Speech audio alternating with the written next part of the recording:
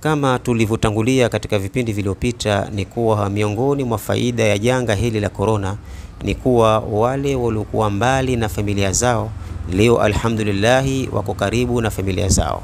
Wale waliokuwa wakikaa mbali na majumba yao, wakikaa mbali na watoto wao, wakikaa mbali na wake zao, alhamdulillah wameweza kuacha uraibu na kuja katika majumba yao kuwa karibu na wake zao na watoto wao na jamii yao, alhamdulillah.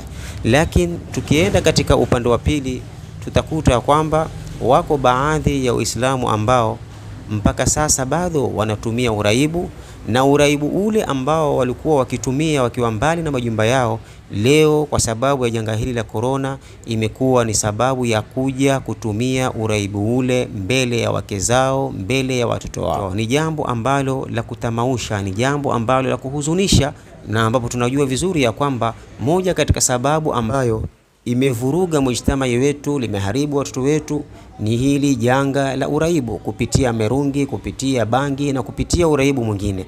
Sijui utawaambia nini hawa wazazi ambao wameweza kuacha maskani zao, lakini wakawa hawakuweza kuacha uraibu wao, wakaubeba uraibu wao kama ule wakauleta katika majumba yao. Na sijui utaiambia nini serikali, hususan serikali yetu ya kaunti kupitia kiongozi wa kaunti Ali Hassan Joho, utawaambia nini au nasaha yako e, sijui itakuwa ni ipi, yani kwa viongozi au kwa e, serikali yetu hii ya kaunti.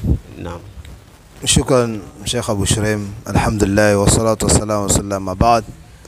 Baada ya kumshukuru Allah subhanahu wa ta'ala na rehma na amani kumwendea Bwana Mtume Muhammad sallallahu alaihi wasallam, kwanza namshukuru Mwenyezi Mungu kutupatia nafasi kama hii kuweza kuelimishana na kukumbushana mazuri, na vile vile nachukua fursa hii adhimu kuweza kumpongeza kiongozi wetu, gavana wetu, ndugu yetu Sheikh Ali Hassan Joho kwa juhudi ambazo kwamba wanazifanya juu ya wale anaoongoza katika kaunti yake Mombasa kuhusiana na janga hili la maradhi haya ya korona. Kwa hivyo tumwombea Mwenyezi Mungu na aendelee, na ikijua kwamba mashekhe na viongozi wengine wako nyuma yake kupambana na kueneza na kueleza watu athari na madhara ya jambo kama hili.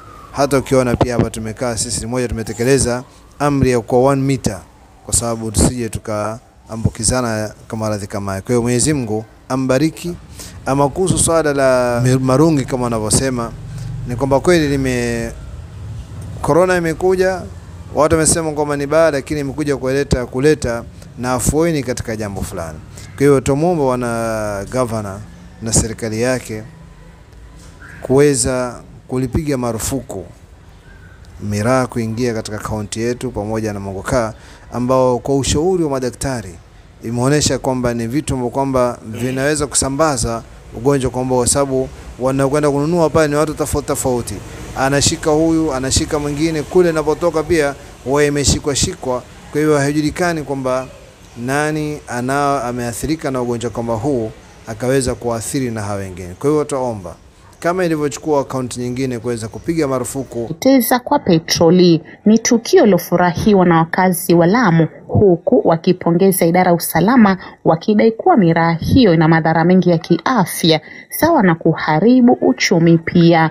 itapitia mikono mingapi mpaka kufika kwangu?